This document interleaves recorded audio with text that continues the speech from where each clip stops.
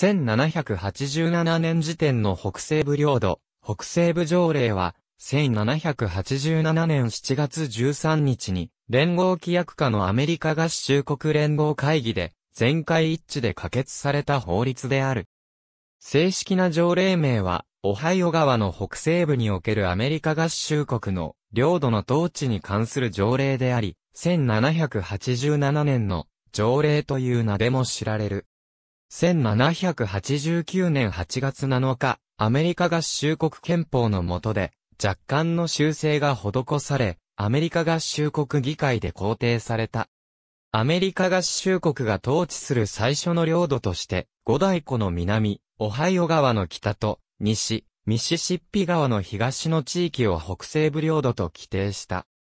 この条例は、大陸会議、またはそれに続く連合会議で可決された法令の中でも、アメリカ独立宣言以外では、ほぼ間違いなく最も重要なものである。この条例は、それまでに存在した州の拡張ではなく、新しい州の創立を認めることで、アメリカ合衆国が、北アメリカの西方への拡大を行う方向性を決めた。この領土における奴隷制度を禁止したために、アパラチア山脈とミシシッピ川の間の地域で、オハイオ川が奴隷制度を認める州と認めない州との境界になった。この区分けは、奴隷制度を認める州と認めない州との間の力関係を並行させることになり、南北戦争までの19世紀における合衆国の重要な政治的問題の基盤となった。1763年のパリ条約でイギリスは、フランスから北西部領域を獲得した。この領域は一般に、オハイオ領土と呼ばれ、1763年宣言によって白人の入植を制限してきた。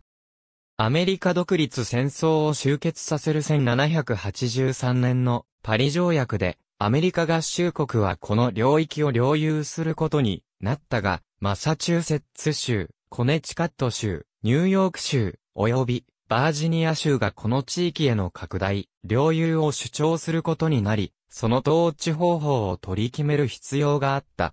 また、イギリス人がこの領域に残っており、その処遇問題は1812年の米英戦争まで持ち越されることになった。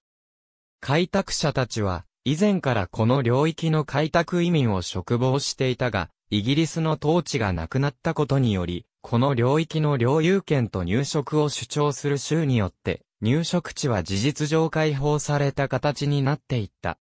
1784年、トマス・ジェファーソンは、アパラチア山脈の西のすべての領土に対する各州の主張を取り下げさせ、その地域は合衆国の新しい州とすべきという提案を行った。ジェファーソンはこの領土を、ほぼ区形の17の州を創出することを提案した。さらに新しい州の名前までも示唆した。チャーソン層、シルバニア、アッセニシピア、ペトロポタミア、ポリポタミア、ペリシピア、サラトガ、ワシントン、ミシガニア、イリノイアなどである。この提案は採択されなかったが、3年後の北西部条例の元となる考え方を作った。北西部条例の可決を記念する名板。ローワーマンハッタンのフェデラルホール。条例の採択により、この領土に対する各州の領有権主張をすべて却下し、中央政府が直接管理することとし、領土の中で新しい州を創設することを認めた。このことは一時的であるにしても、中央政府が特定の州の権限を排除して、領土を管理する前例を作ったということで、画期的なことであった。条例の最も意味ある目的はこの地域に新しい州を作る条件を定めることだった。この領土の特定地域の人口が6万人を超えた時、新州を創立することを定めた。実際に新州を創立するやり方は1802年の権限付与法で定められた。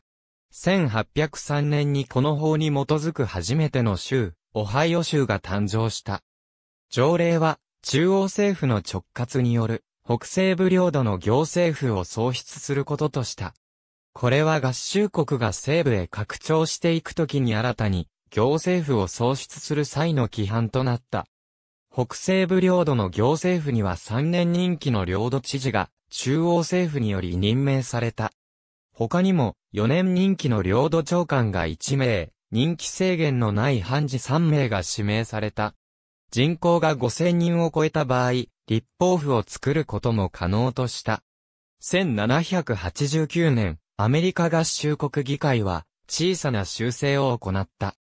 すなわち、中央政府に代わり、アメリカ合衆国大統領は、アメリカ合衆国上院の助言と同意に基づき、領土の知事と役人を任命、または更迭できるものとした。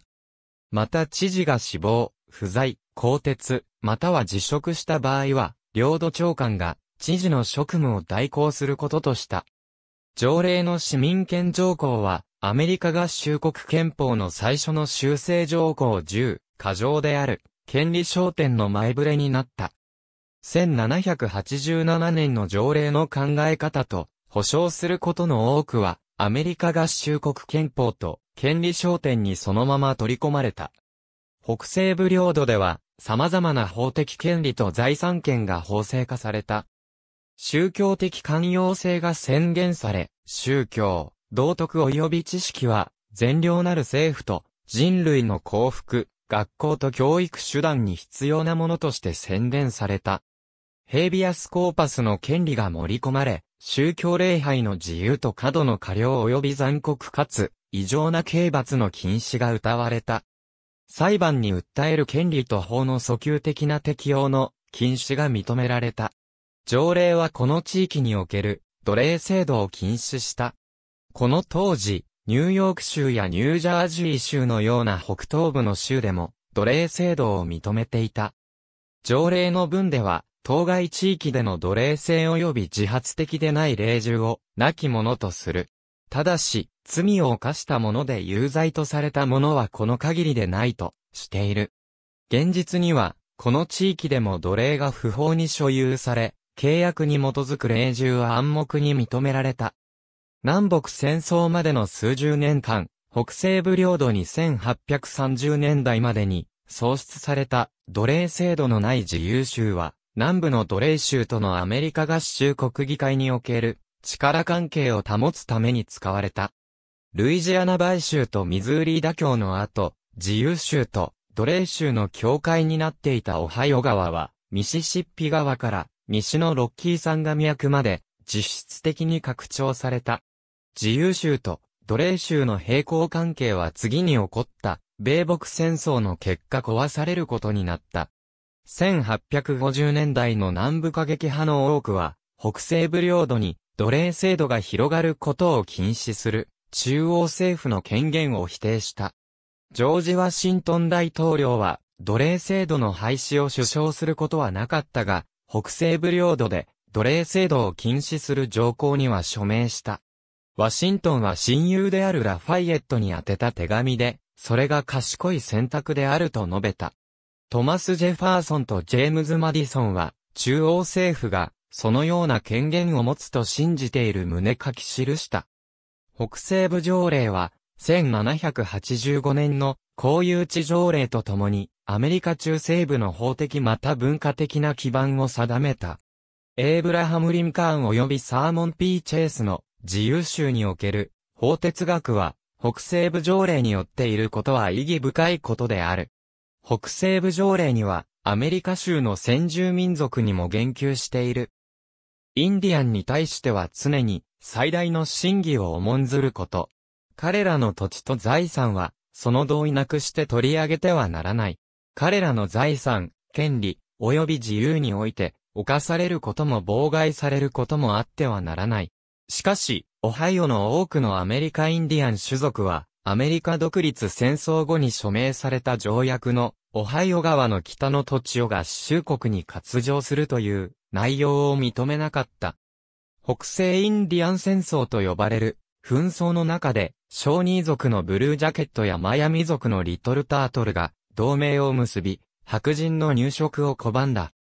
このインディアン同盟が2回の戦闘で800名の兵士を殺害するに及んで、ジョージ・ワシントン大統領は、アンソニー・ウェインを、新軍の指揮官に命じ、結果的に、インディアン同盟を打ち破り、白人が領域内に入植することを可能にした。ありがとうございます。